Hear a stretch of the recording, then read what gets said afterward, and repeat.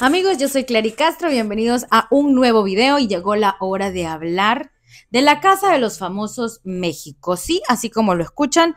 Y no sé si alguien me puede explicar qué rayos hizo Gala Montés salvando a Agustín Fernández.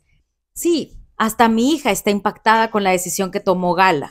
No o sea, es, esta era la oportunidad para que Agustín fuera eliminado. Y si lo digo es porque muchas personas del público que siguen la Casa de los Famosos realmente querían y esperaban la eliminación de Agustín. Y Gala Montés, que además ni siquiera es del cuarto tierra, es del cuarto mar, decidió salvar a alguien de tierra en lugar de salvar o a Mario Besares o a Brigitte Bosso o a Shanique Berman o a Paola Durante, que son parte de su cuarto no sé qué está pasando, no sé qué va a pasar. Ahorita las aguas están bastante, bastante en contra de, en contra de Paola. Mi hija también se está manifestando. Y en cuanto a las votaciones, de eso vamos a hablar. Primero, hay que decir que Shanique Berman es la, la, consentida del público.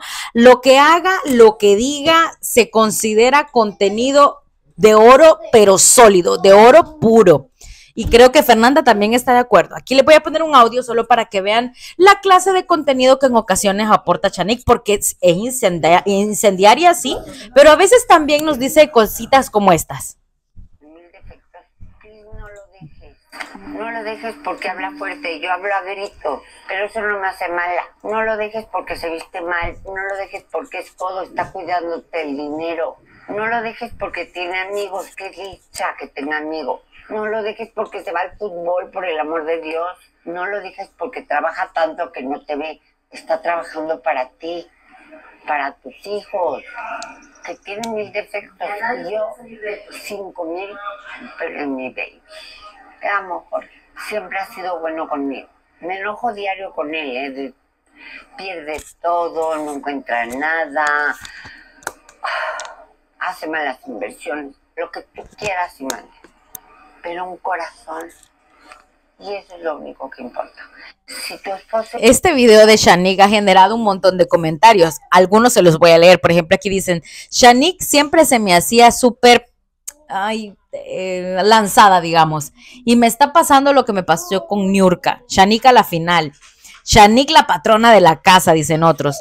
Todos queremos un amor como el que tiene Shanik y Jorge. Ay, la tía Shanik es lo más top.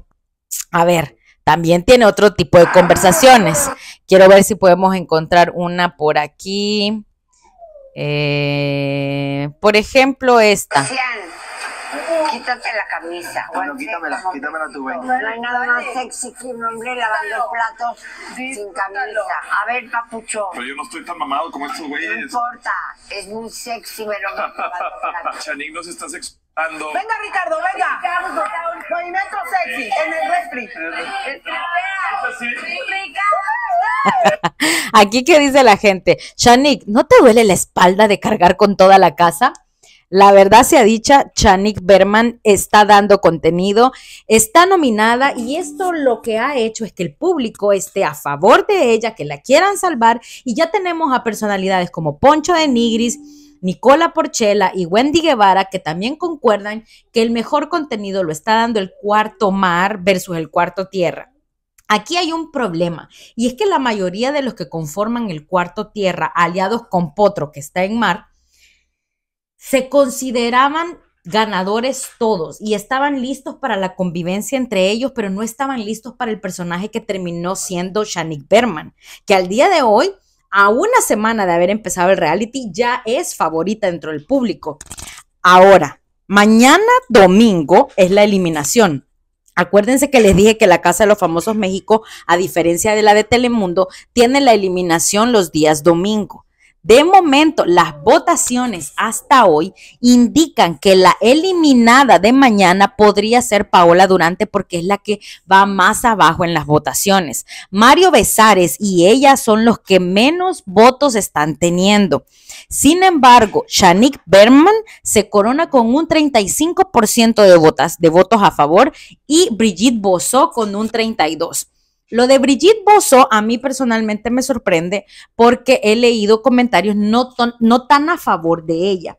Sin embargo, sí puedo decir que de los que los cuatro nominados, ninguno de ellos es los eh, está cargando con el hate del público. Al contrario, las personas que de momento no están cayendo bien y que están recibiendo muchos comentarios negativos en las redes sociales son Agustín Fernández, a quien Gala Montés salvó, la misma Gala Montés por haber salvado a Agustín, Mariana Echeverría, la gente no la está tolerando, y el potro. El potro ha empezado a perder fanaticada, pero muy rapidito. La gente no lo está toleran- tolerando, consideran que está haciendo un doble juego en contra de Karime, cuando primero viene y le dice que le va a tener lealtad y que no la va a nominar, y luego estamos viendo otras cosas y salen otros también en las redes sociales a aportar pruebas negando que el potro esté siendo honesto con Karime. Yo no sé qué va a pasar, pero de momento ninguno de los que les mencioné está nominado. Al contrario, Gala, Potro, Agustín y Mariana se llevan muy bien con, con los que están dominando la palabra, digamos, dentro de la casa, no así de cara al público. De cara al público, de momento los favoritos son los del cuarto mar. Se supone que de momento no están peleando por cuartos, se ha, se ha visto todo más de manera individual, pero vaya hasta saber qué vueltas da la vida. Eso por una parte. Y por otra, vale decir, en esta temporada no tenemos a nadie como el Team Infierno y yo creo que esto es algo que no vamos a volver a ver nunca más. Creo que es algo de una sola ocasión. Es muy difícil que se vuelva a repetir. Eso fue como una aline- alineación planetaria. Pero no por eso vamos a desacreditar lo que tenemos ahora en la Casa de los Famosos México. Sí, entiendo el furor que generó el cuarto infierno y todo lo que vimos con Nicola, Wendy, Sergio, Poncho, Emilio y Apio llevó el rating del programa a números eh, estratosféricos. Actualmente ese rating es muchísimo más bajo. Recuerden que cuando las temporadas vuelven, eh, como en este caso la Casa de los Famosos México, se compara el rating con su predecesora, o sea, o, o su antecesora, o lo como se diga. Esa palabra me cuesta un poco, o con la que hubo antes. Entonces, comparando en rating, la Casa de los Famosos México 2 no va tan bien. Podríamos incluso decir que va muy mal. Pero hay que darle tiempo, hay que darle tiempo. Yo los leo en los comentarios. Dígame quién es su favorito. ¿Quién cree usted que se va mañana? De momento, las encuestas dicen que Paola. Yo estoy pidiéndole a todos los santos que voten por Shanik Berman. Los leo. Bye.